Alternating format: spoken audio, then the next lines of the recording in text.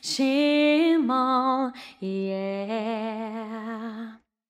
One happy birthday dot com.